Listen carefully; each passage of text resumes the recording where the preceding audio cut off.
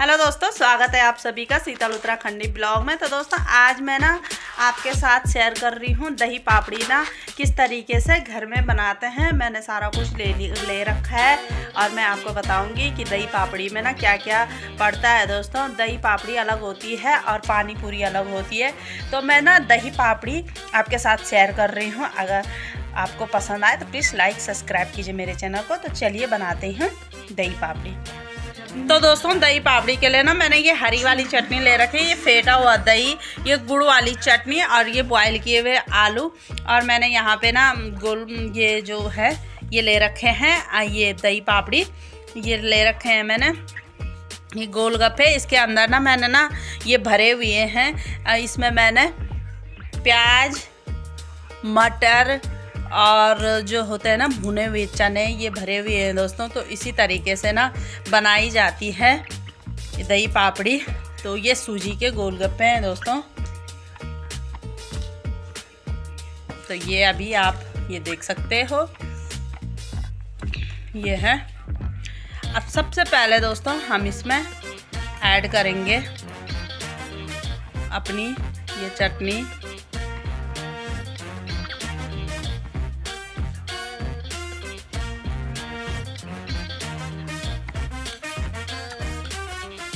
और अब मैं इसमें ना हाथ से ही मैं आलू को तो मैं ऐसे ही हाथ से ही इसमें डालूँगी।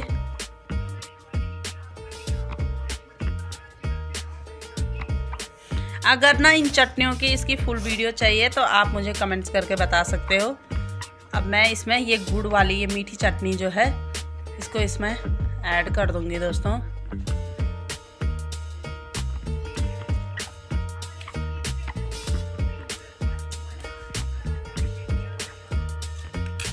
ये अभी आप देख सकते हो। अब एंड टाइम पे अब हम करेंगे इसमें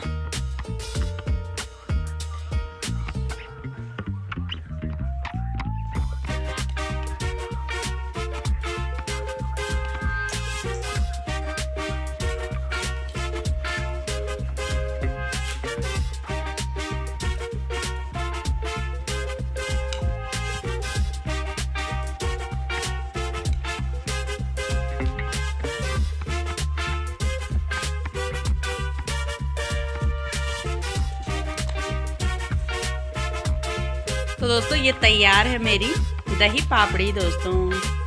ये अभी आप देख सकते हो। चाहे तो अनार के दाने सेब वगैरह, जो सेब नमकीन होती है ना सेब वाली, वो भी डाल सकते हैं। लेकिन मैंने इसमें कुछ भी ऐड नहीं किया हुआ सिर्फ़ चटनी और सादा सिंपल सा है ये। तो मैं अभी आपको बताती हूँ तो ये है मेरी दही पापड़ी दोस्तों।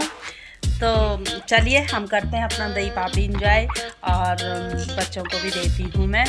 तो ये यही था मेरा छोटा सा मिनी मिनी ब्लॉग मतलब ब्लॉग ही समझ लो। तो दोस्तों, यही है मेरी एक छोटी सी वीडियो। अगर आपको वीडियो पसंद आए प्लीज़ लाइक सब्सक्राइब कीजिए मेरे चैनल को। चले खाती हूँ मैं अभी।